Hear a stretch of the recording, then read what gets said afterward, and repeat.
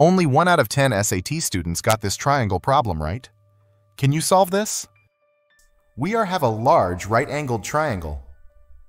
Inside this triangle, three squares are perfectly nestled side by side, each one touching the triangle's base and the hypotenuse like this.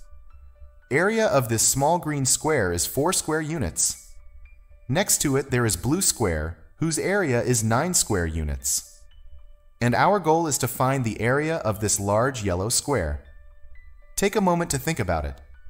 Pause the video if you want to try solving it on your own, and then come back to check your answer.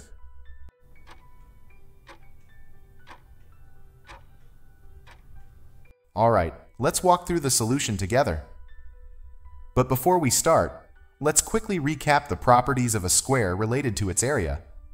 We know that the area of any square is given by the square of its side, and the length of each side can be found by taking the square root of the area. Now let's start from this smallest green square. Area of this small square is 4, which means each side of this must be the square root of 4, that is 2 units. Now look at the, this middle square. Its area is 9, so each side is the square root of 9, that is 3 units. Now if this is of length 3 units, and this is of length 2 units, then this remaining side length must be equal to 3 minus 2, which is 1 unit. Let's label that part as 1 unit and update our figure accordingly. Now consider these two red right-angled triangles formed around the squares. These two triangles share same angles and are right angles triangles. That means they are similar triangles. Let's call the unknown height of this large triangle x. Now from the similarity of triangles, we can write a proportion as x over 1 equals 3 over 2.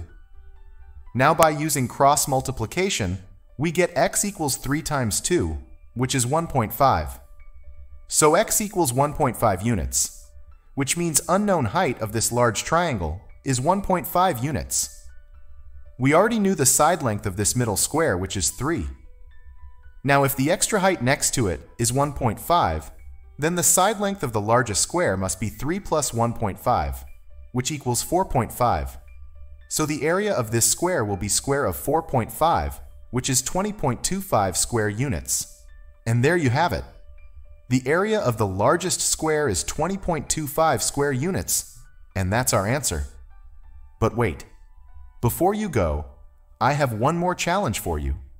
Can you find the area of this largest square in terms of x and y instead of numbers? Think it through and drop your answer in the comments below.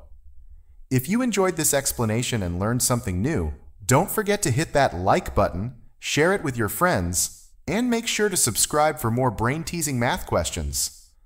Thanks for watching, and I'll see you in the next video.